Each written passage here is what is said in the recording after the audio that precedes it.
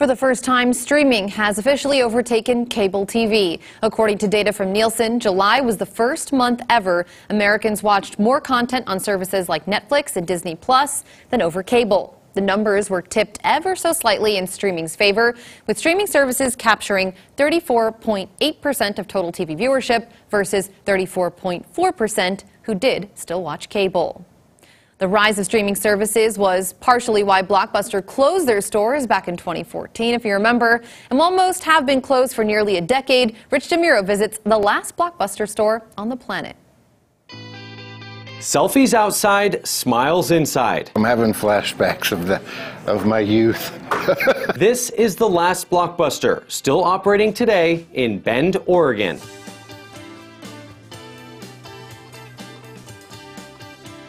Everything is exactly the same as it was, you know, 20 years ago. Sandi Harding is general manager.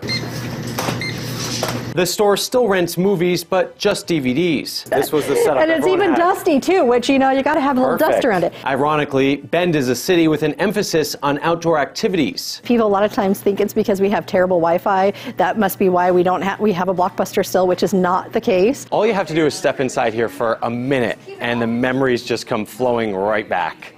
It is just like I remember. Rentals now just a small part of the overall business. Most people that come in want to relive the past, take pictures, and buy souvenirs. We're heading for the Oregon coast, but we made a detour just to get to this store. We love Blockbuster. There are these signature yellow walls, the return box, new release sign, candy, and a literal wall of VHS tapes. They're not all rewound, though. No, they're not, and he intentionally left them like that. I, I miss it, and I know millions of other people miss it. Alan Payne is author of Built to Fail. Just to put it in perspective, about half the population would be in a video store every week. Then alternatives came along, including DVDs by mail and kiosk. And it's interesting to note that Blockbuster was really in in really a broken company and in dire financial conditions before Netflix ever started streaming. Blockbuster filed bankruptcy in 2010, just as streaming started to take off. Hey, thanks so much. Yeah, enjoy your week. All right, you too. While Friday night at the video store is becoming a distant memory,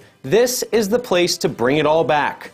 The clerks are friendly, the computer's barely hanging on, and it's these hats and t shirts that keep this bit of movie magic alive. I think we still have a couple more years left. In Bend, Oregon, I'm Rich DeMuro.